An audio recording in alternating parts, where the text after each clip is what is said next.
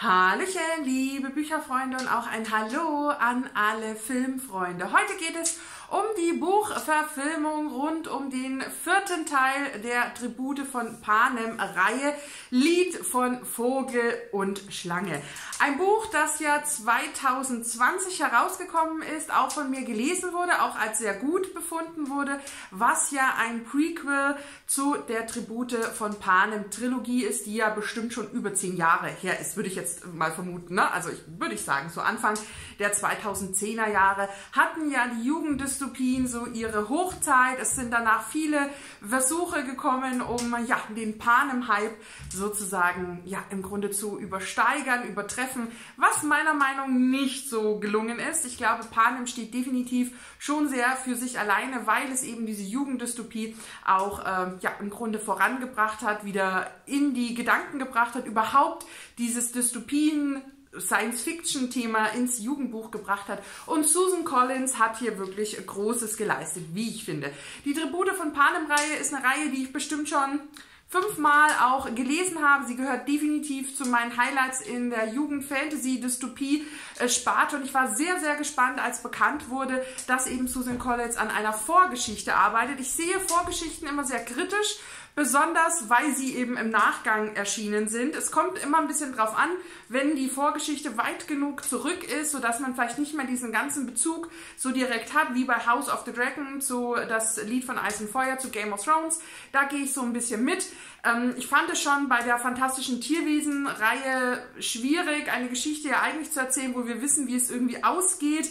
Das war mir zum Beispiel auch schon in manchen Teilen zu nah. Auch hier sind wir nur 60 Jahre vor oder ein bisschen was über, also 64 Jahre vor der Tribute von Panem-Reihe und wir erzählen die Geschichte eines Charakters, den wir eben auch in Panem kennen. Es ist nämlich die Geschichte von President Snow, der hier einfach nur Cornelius Snow ist 18 äh, Jahre jung oder alt, den Krieg vor 10 Jahren als Kind eben mitbekommen hat, also der dafür verantwortlich war, dass dann eben die Hungerspiele eingeführt wurden.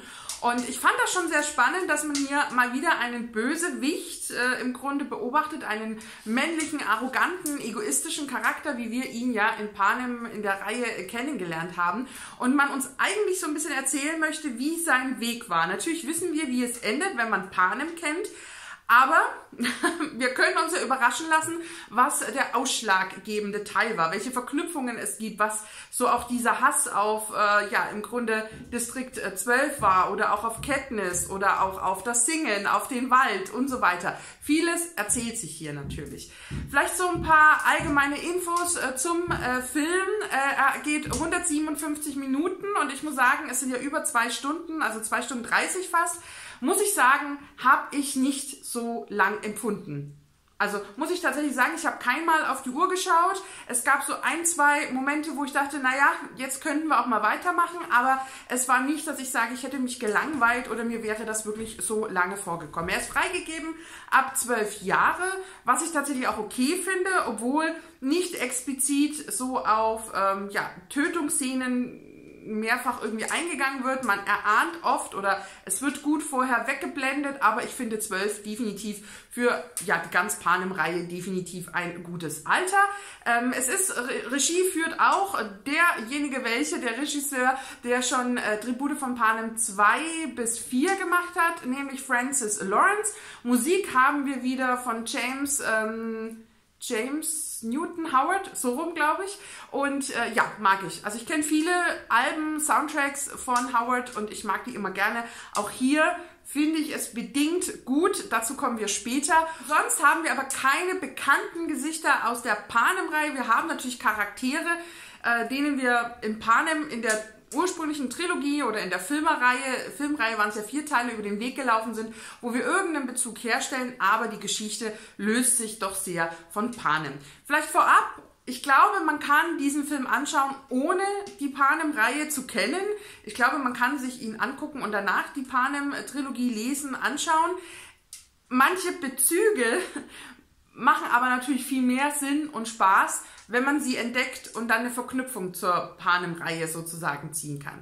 Das ist natürlich auch wie zum Beispiel beim Hobbit und der Herr der Ringe, da gibt es ja auch ganz viele Verknüpfungen, wo man sagt, ah, genau, und da hat er damals das und das hat in der Zukunft diese Auswirkungen. Und so funktioniert das hier natürlich auch. Ich glaube, man sitzt als Panem-Fan schon da, freut sich über die Dinge, die so Sinn dann ergeben und ja, ich glaube, es macht mehr Spaß, aber ich glaube, man kann ihn auch ganz unabhängig voneinander lesen oder dann eben auch jetzt anschauen. Ja, so viel äh, zur Theorie. Komm, kommen wir so ein bisschen vielleicht noch kurz zu meinem Buch Erinnerungen, die jetzt doch schon drei Jahre her sind. Also ich habe es in sehr positiver Erinnerung. Ich mochte, dass wir hier auch diese Ich-Perspektive haben, die wir in der Panem-Reihe hatten. Da waren wir sehr nah an Katniss Everdeen. Hier waren wir sehr nah an Cornelius, Cornelius, wie auch immer, Corley. da ist nämlich irgendwo noch ein L. Äh, Snow. Ich mochte das gerne. Ich mochte die verschiedenen Kapitel, die aufgemacht werden. Ich mochte, dass wir seine Motivation hatten, seine Emotionen, seine Gedanken, seine Gefühle und er uns die immer sehr direkt wiedergespiegelt hat, weil wir eben in der Ich-Perspektive waren. Es ist kein sympathischer Charakter und das möchte er auch gar nicht sein. Weder zu Beginn noch zum Ende hin. Und wir wissen dann alle, dass er zwar ein gelungener Bösewicht ist, aber eben ja, ich glaube, keinem geht das Herz auf, wenn er President Snow sieht. Außer in der deutschen Synchro, da wird er ja gesprochen von äh, Kluckert, der ja auch Benjamin Blümchen spricht. So, für alle jetzt das Bild des Elefanten äh, im Panem, äh, der eigentlich nach Otto ruft und nicht nach Kenntnis. Aber so viel, das spielt sich dann in meinem Kopf sozusagen ab. Ich hatte schon große Erwartungen an den Film, weil natürlich die Panem-Filme mich damals auch wirklich geflasht haben. Also besonders eins Zwei, drei fand ich so ein bisschen semi, aber vier, da bin ich so heulend und emotionsgeladen aus dem Film raus. Also ich fand eins bombastisch und äh, würde dann den vierten auf Platz zwei packen und Platz zwei und drei, ja, die teilen sich dann wahrscheinlich so ein bisschen den dritten Platz. Äh, was so ein bisschen an der Action, an dem Pacing liegt, äh, vielleicht auch an Katniss, wie sie uns dann so ein bisschen auch gezeigt wurde und auch so manchen Nebencharakter, der mir ein bisschen gefehlt hat, beziehungsweise manche auch zu over dabei waren, also zu drüber waren. Aber so würde ich das ein bisschen einordnen. Und ich weiß noch, wie ich aus diesem, nach diesem ersten Buch und nach diesem ersten Film so geflasht, begeistert war. Und so ein bisschen was habe ich hier auch erwartet. Mir ist aber natürlich klar, dass Snow keine Katniss ist. Das ist ganz logisch. Also für mich, weil wir natürlich ein ganz anderes Gefühl, eine ganz andere Bindung zu einer Katniss Everdeen aufbauen können als zu einem Snow, wo wir eben so ein bisschen schon wissen, wo führt uns der Weg hin.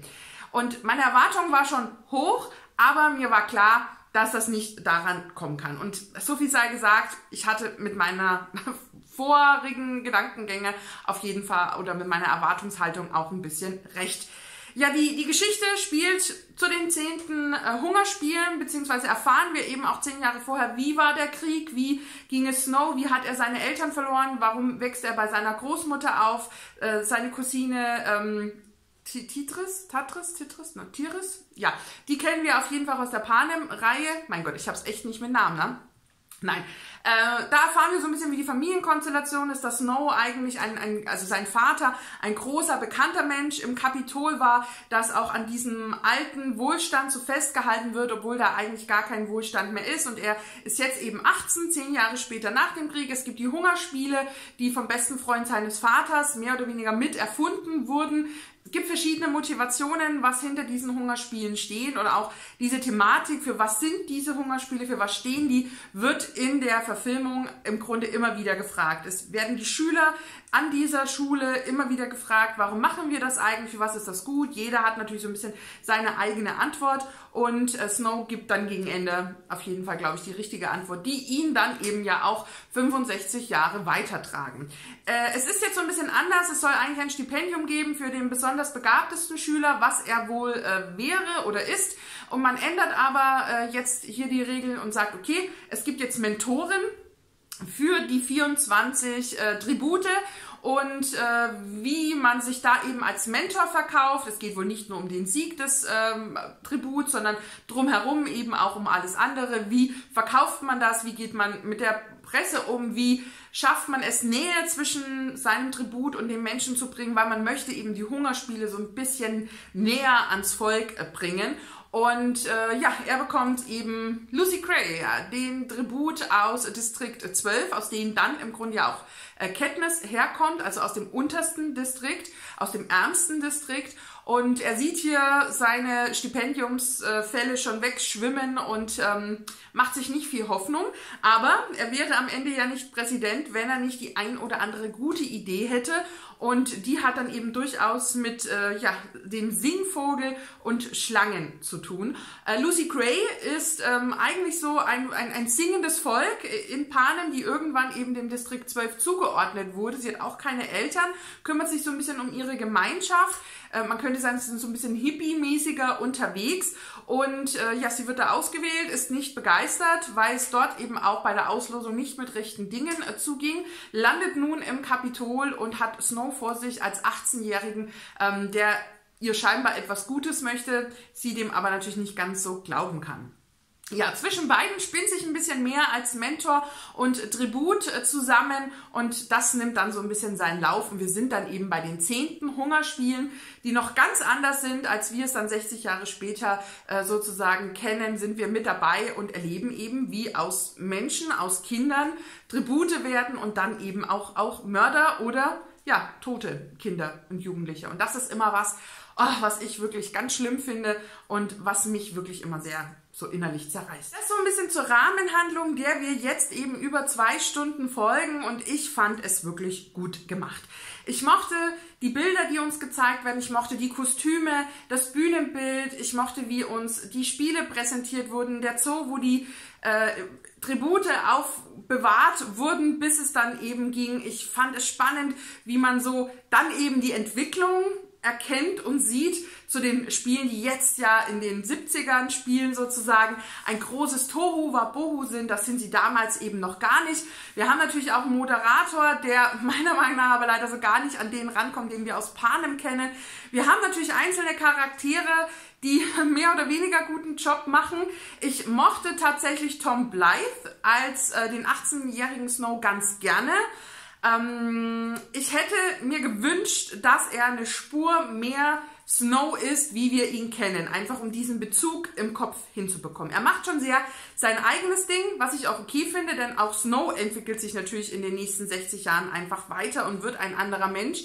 Aber gerade gegen Ende hätte ich mir mehr arrogante Züge gewünscht, ein bisschen mehr Erhabenheit, wie man es dann kennt. Dass er das zu Beginn vielleicht noch nicht so hat, kann ich nachvollziehen, aber gegen Ende hätte ich gern so ein bisschen diesen Switch gesehen und erlebt. Überhaupt kommen wir Snow nicht sehr nah. Man muss ja bedenken, die Buchvorlage ist in der Ich-Perspektive geschrieben und auch die, die, die Katniss-Reihe sozusagen war so und auch die Filme rund um Katniss Everdeen waren sehr nah an Katniss und haben uns viel ihrer Gedanken, Gefühle gezeigt und das auch immer wieder besprochen und das fand ich gut. Hier fehlt uns manchmal dieser Part, obwohl auch das Buch in der Ich-Perspektive ist. Mir fehlt oft die Motivation, die Gedanken, die Pläne von Snow, wo ich mich immer so ein bisschen frage, warum macht er das jetzt? Warum wird mir das nicht erzählt? Warum spricht er nicht mit irgendjemandem, wenn man eine Figur seines Vertrauens eingeführt hätte? Warum handelt er manchmal anders, als es scheint, dass er es denkt?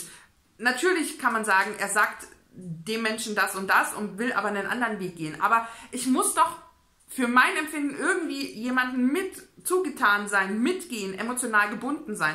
Und das hat mir so ein bisschen gefehlt tatsächlich. Also das haben, hat die andere Filmreihe definitiv besser gemacht.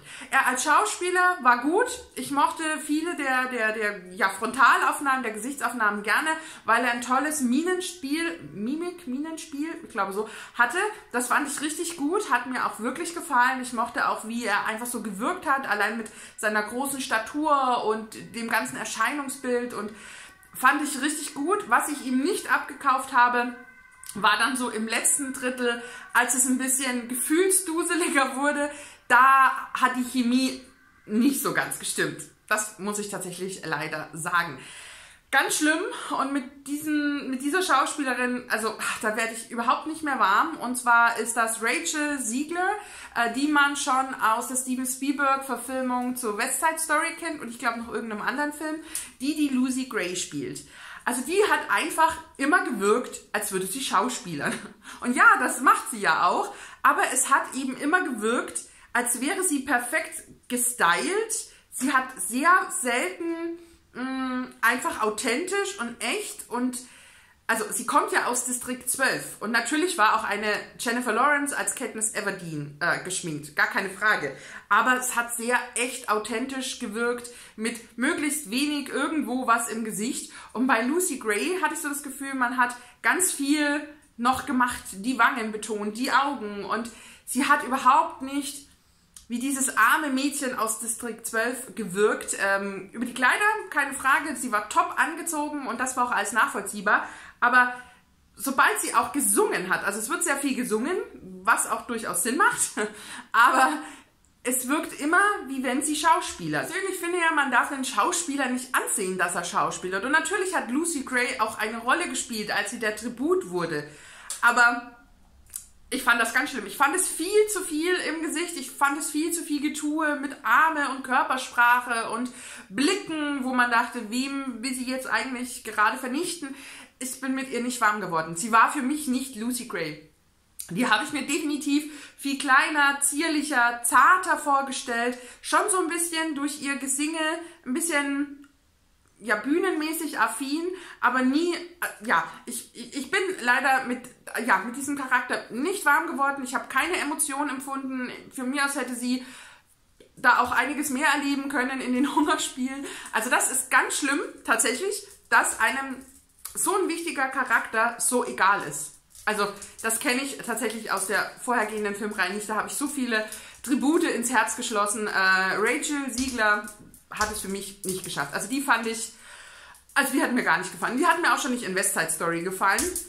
Es hat allerdings bei mir auch einen Moment gebraucht, ah, wo kenne ich die? Aber ja, wem ich ganz gut fand, war Viola Davis, die die Spielemacherin Dr. Goal, muss ich mir aufschreiben, äh, gespielt hat.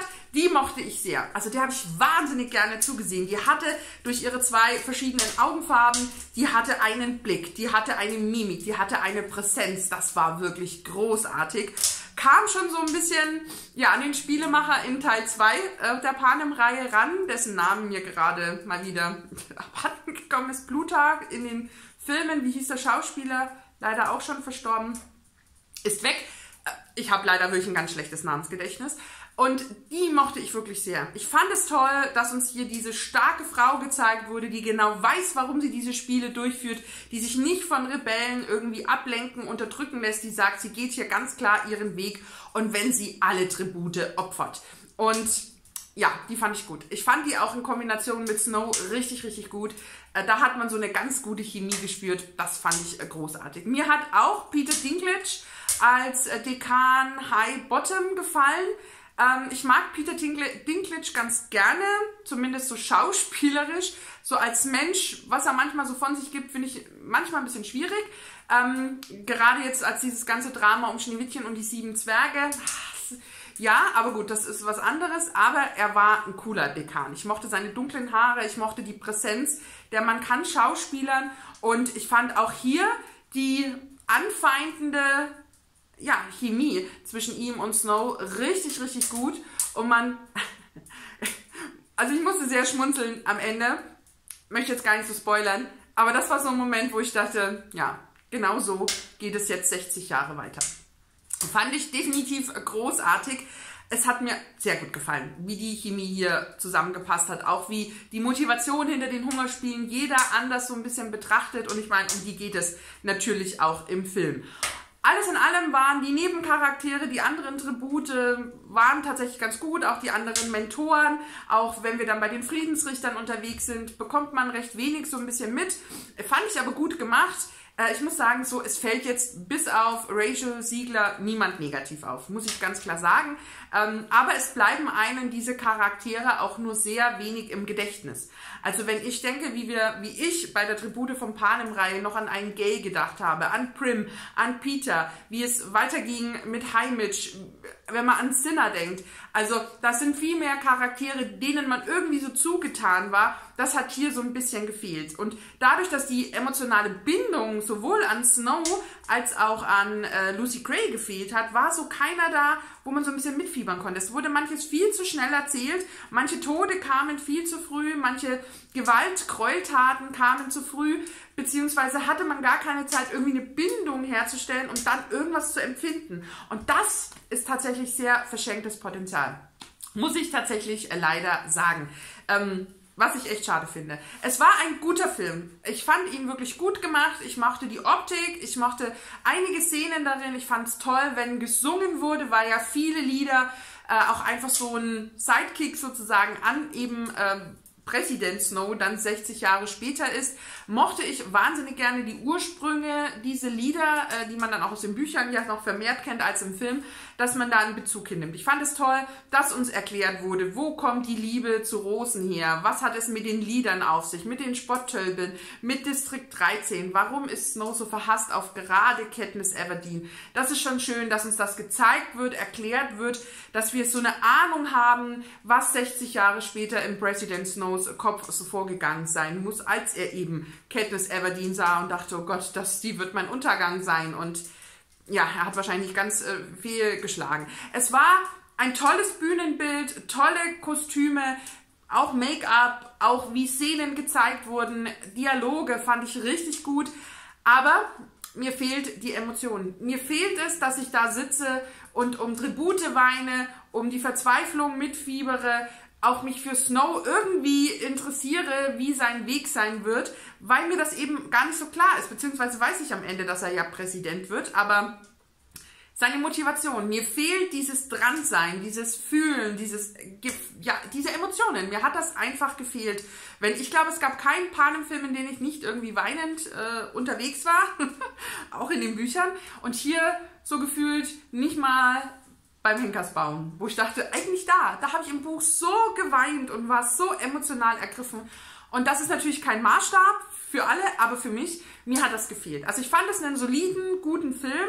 Ich finde nicht, dass man ausgeschöpft hat, was man als Vorlage bekommen hat. Gerade die Ich-Perspektive, die hätte hier doch ein bisschen mehr, mehr Emotionen, mehr Bindung an Snow gebracht. Und so ein bisschen das letzte Drittel da ist mir zu viel in Snows Kopf passiert, wo ich dann auch sage, ha, das kam jetzt doch überraschend, wie er das macht.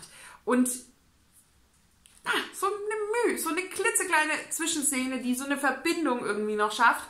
Ja, also es sind so Kleinigkeiten, die den Film manchmal für mich nicht ganz rund machen. Alles in allem sehenswert. Auch ein Film, den man sich durchaus immer mal ansehen kann, wäre für mich jetzt aber kein Jahreskandidat, wie es zum Beispiel die Panem-Reihe ist. Also diese vierteilige Reihe gucke ich ja gefühlt wirklich jedes Jahr einmal, in diesem Jahr auch schon und das wird es aber für mich nicht. Und ich glaube, es ist auch immer einfach schwierig, eine Vorgeschichte zu erzählen, die so nah an dem ist, was man kennt ich glaube, das ist auch der Grund, weswegen man sich bei Harry Potter im Universum so schwer tut, zum Beispiel die Rumtreiber zu erzählen oder die Geschichte von Voldemort oder wem auch immer, weil das zu nah wäre, was mir vielleicht gefallen könnte.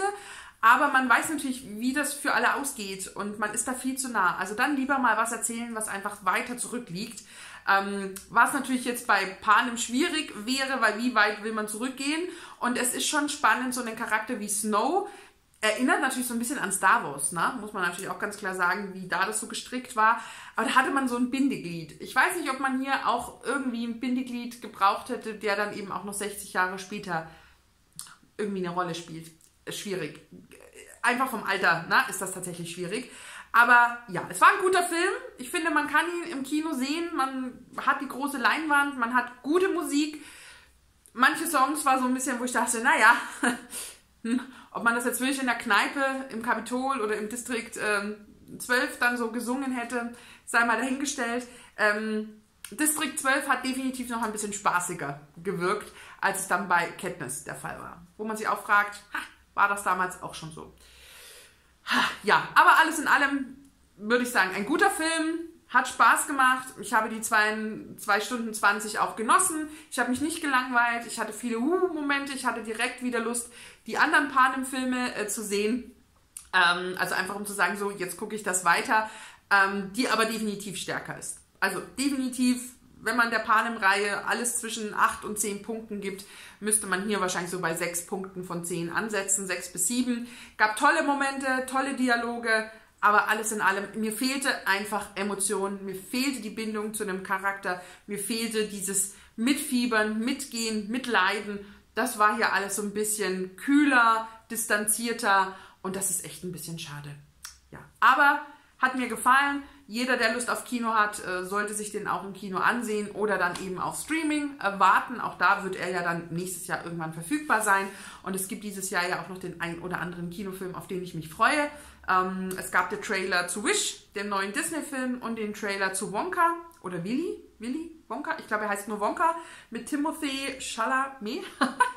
oh mein Gott, warum heißen die Leute auch manchmal so kompliziert? Wie soll man sich das merken, wenn man eh kein gutes Namensgedächtnis hat? Ja, also die zwei Filme wird es, denke ich, in diesem Jahr auch noch im Kino werden und da freue ich mich auch drauf. Und ähm, ja, es macht immer wieder Spaß. Ich bin gerne im Kino, viel zu wenig im Vergleich zu vielleicht noch vor vier, fünf Jahren, wo ja gefühlt jeden Monat irgendwie ein cooler Film rauskam das ist irgendwie jetzt so die letzten zwei Jahre vielleicht auch einfach verschiedenen Dingen geschuldet, unter anderem natürlich den Streiks und dem großen C. Aber ja, ich hoffe, dass das nächstes Jahr dann wieder ein größeres Kinojahr wird. Ich glaube, ich war dieses Jahr auch nur zweimal im Kino, oder? Und jetzt das dritte Mal. Ich glaube, so war's. ja, ich bin natürlich sehr gespannt, ob ihr das Buch kennt, ob ihr die Reihe mögt. Äh, das könnt ihr gerne mal in die Kommentare schreiben, ob ihr euch auf den Film freut, ob ihr ihn schon gesehen habt. Wenn ihr mit mir ein bisschen über den Inhalt und Meinungen sprechen wollt und irgendwo Spoiler dann kommentiert das natürlich so ein bisschen, so dass jeder, der ihn noch nicht gesehen hat und vielleicht nicht gespoilert werden möchte, ähm, dann auch äh, ganz unvorbereitet äh, in den Film gehen kann. Also lasst uns da gerne ein bisschen in den Austausch gehen. Ich hoffe, dass euch die kleine Review, meine Gedankengänge, die vielleicht manchmal ein bisschen wild sind, trotzdem gefallen haben. Und ich ähm, ja, war auf jeden Fall sehr gerne im Kino und ähm, fand einfach das Feeling schon sehr gelungen. Und ich glaube, so das Kostümbild ist tatsächlich so mein Highlight aus diesem Film. Ich danke euch jetzt fürs Zusehen, wünsche euch noch einen schönen Tag, einen schönen Abend und wir sehen uns dann zum nächsten Video. Macht's gut. Tschüss, eure Steffi.